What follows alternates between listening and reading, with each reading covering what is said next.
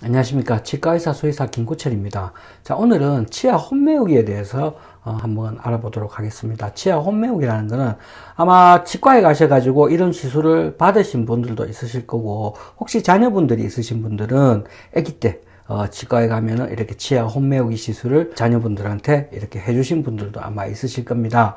어, 치아 홈메우기라는 것은 일단 치아에 있는 홈들을 메우는 그런 작업들이 되겠습니다. 자, 치아의 홈을 메운다는 것은 사실 치아의 표면은 여기처럼 이렇게 아주 매끈한 부분도 있지만은 여기처럼 이렇게 홈들이 있는 부분들도 있게 됩니다. 그러면은 우리가 음식물을 먹는다든지 하면 음식물 찌꺼기가 끼고 프라그가 끼고 치석이 끼는 게 이렇게 아주 매끈한 부분보다 이렇게 홈이 있는 부분에 우리가 상식적으로 생각을 해도 음식물 찌꺼기라든지 프라그라든지 이런 게 훨씬 더 잘 낄 수밖에 없게 됩니다. 그러면은 이 부분에 있는 음식물 찌꺼기나 프라그들이 충치를 일으킨다든지 아니면 점점 더 많은 세균막들을 일으키기 때문에 이런 부분들을 이제 우리가 메워주는 거죠. 아주 이제 물 같은 이런 이제 물질들을 넣어서 충진을 해서 틈들을 메워줘서 좀 더 매끌매끌한 표면처럼 이렇게 해주는 게 치아 홈메우기의 기본 컨셉이라고 볼 수가 있겠습니다. 자, 특히 이제 고양이나 강아지 같은 경우는, 특히 강아지 같은 경우는 이제 제일 흔하게, 어, 이렇게 홈메우기 시술이 시행되는 부분들은 위에 있는 이빨 중에서 제일 큰 어금니, 물론 정확하게 말을 하면 작은 어금니지만 하여튼 위쪽의 턱에서 제일 큰 이빨에 보시면 이렇게 홈들이 있는 것을 대부분 다 알고 계실 겁니다. 이렇게 홈들을 메워주는 겁니다. 이런 홈들이 있게 되면은 이런 홈에 금방 말씀드렸듯이 음식물 찌꺼기라든지 뭐 프라그라든지 이런 것들이 이렇게 많이 끼게 됩니다. 그러면 여기서부터 치주염을 일으킨다든지 충치를 일으킨다든지 그런 문제들이 이제 시발이 되기 때문에 이런 부분에 홈을 미리 문제를 어, 예방하는 차원에서 미리 이제 메워주게 되는 겁니다. 보시면은 이 주위에 여기하고 여기하고 비교를 해 보시면은 이 부분에 잇몸 조직이 안 좋다는 것을 알 수가 있습니다. 건강한 잇몸 조직 같은 경우는 여기처럼 이래야 되는데 이쪽이 좀 더 부어 있고 빨갛게 됐다는 걸 보실 수가 있죠. 그거는 이제 이 홈 쪽에 이제 프라그나 치석들이 많이 끼게 되고 그러다 보니까 이 부분에 어 잇몸이 국소적으로 어 이렇게 특정 부분이 더 빨갛게 되고 염증 상태를 일으킨 게 되겠습니다.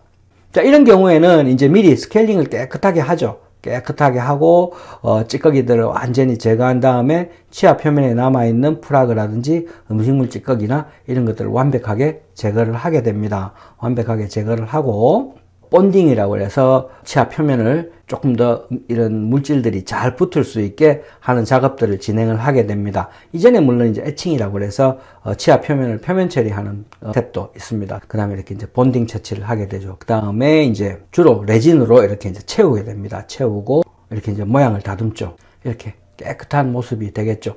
어, 앞에 사진하고 비교를 해보시면은 뭐 완전히 틀리다는 걸 느끼실 수가 있겠죠. 이렇게 치아 표면을 매끌매끌하게 해주는 게 이렇게 뭐 보기도 좋고 그렇게 함으로써 이 부분에 추가로 어, 치석이나 프라그가 이 부분에 비해서 이 부분에 더 많이 끼는 것을 막아줄 수가 있게 됩니다.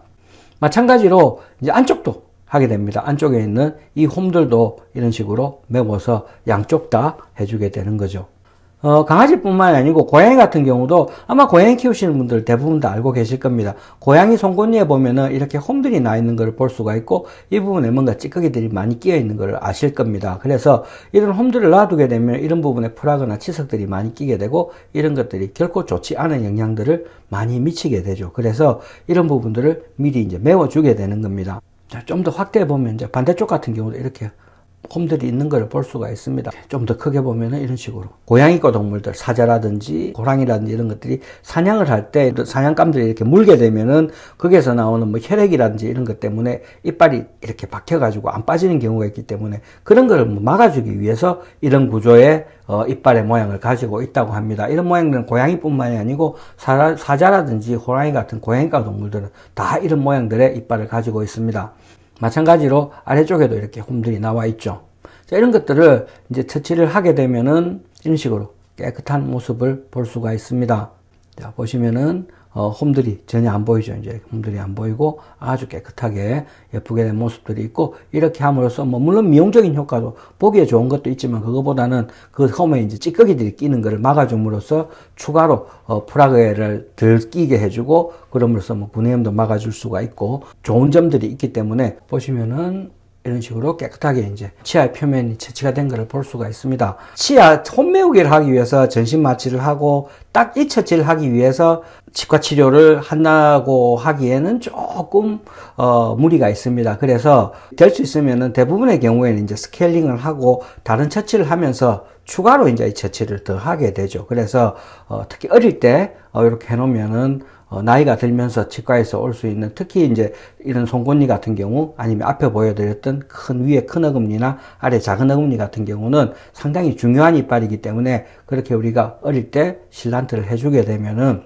앞으로 일어날 수 있는 여러 가지 문제들을 뭐 완벽하게는 아니지만 상당히 많은 부분 방지를 할 수가 있기 때문에 캘링을 할때 홈메우기도 같이 해주시는 것도 꽤 괜찮은 옵션이 될 거라고 생각을 합니다. 자, 오늘은 여기까지 하겠습니다. 감사합니다.